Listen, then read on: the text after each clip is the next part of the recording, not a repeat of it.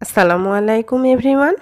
ফেলে দেওয়া লাউয়ের খোসা ও বিচি দিয়ে দুর্দান্ত স্বাদের একটা ভর্তা তৈরি করে দেখাবো আজকের পর্বে। এভাবে যদি বাসায় একবার এই ভর্তাটা তৈরি করে খান, তাহলে কখনোই লাউয়ের বিচি আর খোসাটা ফেলবেন না। এতটাই মজার হয় এই ভর্তাটা। গরম গরম ভাতের সাথে খেতে অসম্ভব মজা লাগে।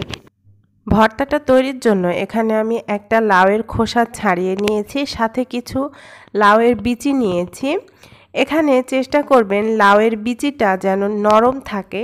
শক্ত বিচি হলে কিন্তু ভর্তাটা খেতে আর ভালো লাগবে না।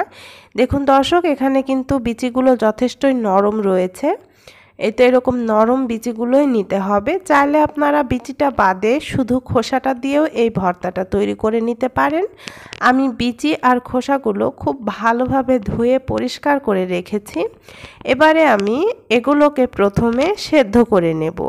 এজন্য আমি চুলায় একটা প্যান বসিয়ে দিচ্ছি। প্যানটা বসিয়ে দিয়ে আমি এই খোসা আর বিচিগুলো দিয়ে দিচ্ছি।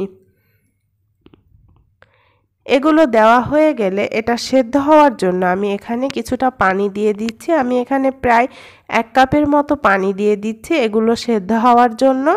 সাথে দিয়ে দিচ্ছি চার পাঁচটার মতো কাঁচা মরিচ ঝালটা যে যেমন খাবেন সে অনুযায়ী দেবেন। আর সাথে আমি দুই তিন কোয়া বড় সাইজের রসুন কুচি করে নিয়েছি, সেটা দিয়ে দিচ্ছি।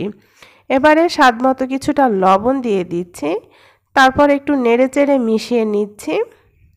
মেশানো হয়ে গেলে চুলা রাসটা লোতে রেখে আমি এগুলোকে খুব ভালোভাবে সেদ্ধ করে নেব। প্রায় পাঁচ ছয় মিনিটের মতো এটাকে আমি খুব ভালোভাবে সেদ্ধ করে নেব। পাঁচ ছয় মিনিট পর আমি ঢাকনাটা উঠিয়ে নিচ্ছি। এরই মধ্যে দেখা যাবে খোসার আর বিচিটা বেশ খানিকটা সেদ্ধ হয়ে এসেছে। কালারটাও চেঞ্জ হয়ে গিয়েছে। একটু নেড়ে চেড়ে দেখছি। এর মধ্যে এখনও বেশ কিছুটা পানি রয়েছে। এ পর্যায়ে আমি এর মধ্যে দিয়ে দিচ্ছি প্রায় আট দশটার মতো মাঝারি সাইজের চিংড়ি। চিংড়ি মাছটা এখানে টোটালি অপশনাল আপনারা পছন্দ না করলে এখানে বাদ দিতে পারেন, তবে চিংড়ি মাছটা দিয়ে এই ভর্তাটা তৈরি করলে খেতে অনেক বেশি মজার হয়। মাছটা দিয়েও একটু নেড়ে চেড়ে মিশিয়ে নিচ্ছি, তারপর আবারও এটাকে ঢাকনা দিয়ে ঢেকে আরও তিন চার মিনিটের মতো একটু সেদ্ধ করে নিচ্ছি। তিন চার মিনিট পর এটা পুরোপুরি সেদ্ধ হয়ে গিয়েছে আর এক্সট্রা যে পানিটা ছিল সেটাও শুকিয়ে গিয়েছে, একেবারে শুকনা শুকনা হয়ে গিয়েছে। এ পর্যায়ে আমি এটাকে চুলা থেকে নামিয়ে হালকা একটু ঠান্ডা করে ব্লেন্ডারে খুব ভালোভাবে ব্লেন্ড করে নেব। আপনারা চাইলে এ পর্যায়ে শিলপাটায়ও বেটে নিতে পারেন। এবারে চুলায় ভর্তাটা তৈরির জন্য অন্য একটা প্যানে দিয়ে দিচ্ছি এক টেবিল চামচ পরিমাণ সরিষার তেল। ফোড়নের জন্য দিয়ে দিচ্ছি সামান্য একটু কালো জিরা আর দুটো শুকনো মরিচ এখানে আমি দুভাগ করে নিয়েছি, সেটা দিয়ে দিচ্ছি।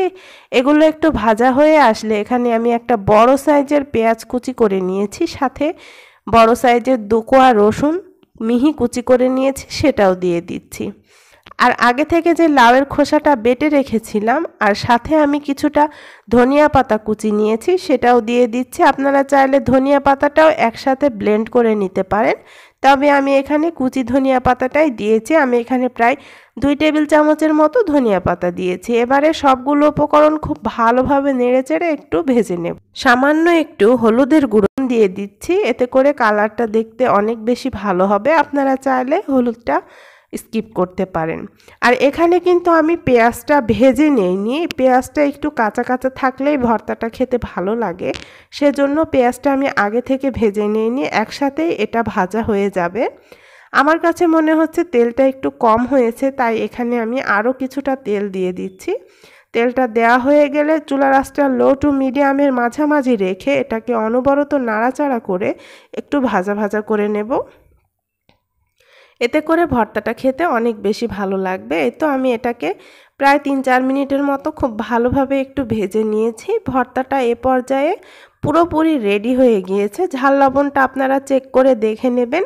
ভর্তাটা রেডি হয়ে গিয়েছে, এবার চুলা থেকে নামিয়ে এটাকে আমি পরিবেশন করে নিয়েছি।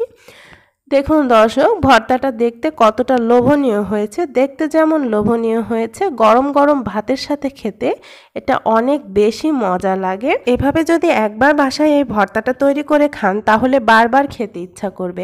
আশা করছি আজকের রেসিপিটি ভালো লেগেছে। সবাই ভালো থাকবেন, সুস্থ থাকবেন। সবাইকে আল্লাহ হাফেজ।